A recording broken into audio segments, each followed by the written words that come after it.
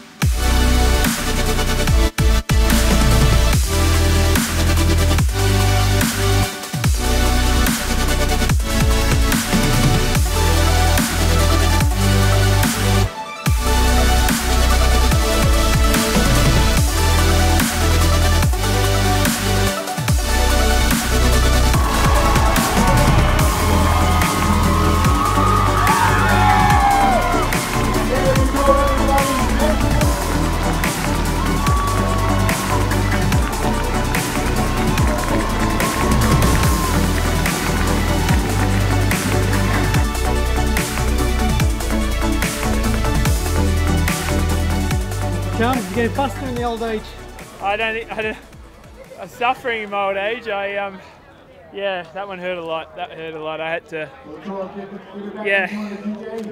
I only I had to in the end. I had to let let him come and then um, try and get as close to the line as I could before I just went all in. And uh, yeah, I really paid for it when I crossed the line there at the end. I was completely spent, but that's how you want to be, isn't it? So. Um, But did you think, did you, on the out and back, did you think he was, did you think there was a chance he was going to catch or?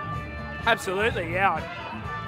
In fact, I was almost certain he was going to catch at one point. I was like, right, I'm going to not try and kill myself here. I'm going to just be calm, and if he catches me, I'll try and go with him. But then he stopped catching me as, as, as quickly, and uh, yeah, I was able to hold the gap. And then um, once we got to a couple of K to go and it started a minute, then yeah, I was home and hosed. Did, did you wonder where he was on the bike?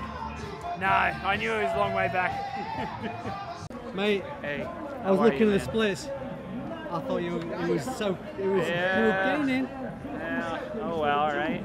At the end of the day, you don't make it, you don't make it, right? It was fun though. It was good. It hurt. I need a break from Ironmans for a little while. They hurt. Yeah, it was, it was, it was a, everything went perfect. It was a really good day, perfect conditions, and uh, obviously it was a tight competition, so it pushes the pace, and uh, big, big grip on the bike was moving, and didn't blow up on the run, so.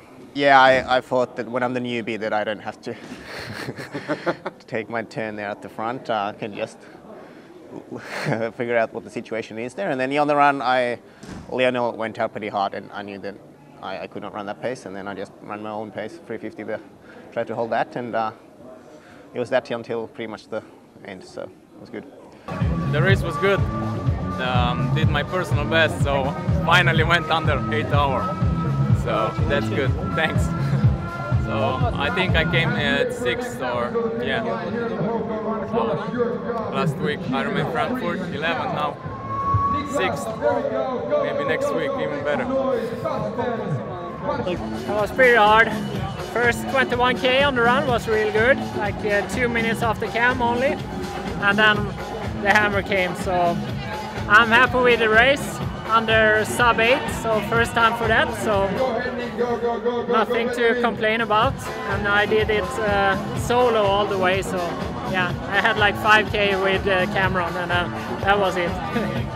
It was uh, it was really good uh, conditions today, so no, I'm I'm happy with it. It was uh, my first Ironman I finished in like two years now, so yeah, you need to uh, get it done so you know the feeling, so you can push all the way next time and pace yourself better. So yeah, the bike was really, really good, better than expected actually. I, I was riding with uh, Lionel and uh, uh, Plese, uh, two strong riders, and uh, yeah, that really panned out as I as I hoped. So uh, good fast course and good fast conditions and uh, good legs.